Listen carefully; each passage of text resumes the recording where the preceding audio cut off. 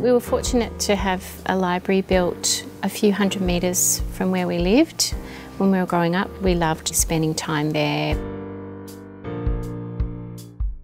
I worked for a small publishing public relations company, worked full time for 15 years and then was a stay-at-home mum for 14 years to raise my three sons. While I was volunteering at my children's primary library, I just thought to myself, why didn't I think of this when I left school? So I started full-time study with a Certificate 4 of Library and Information Services.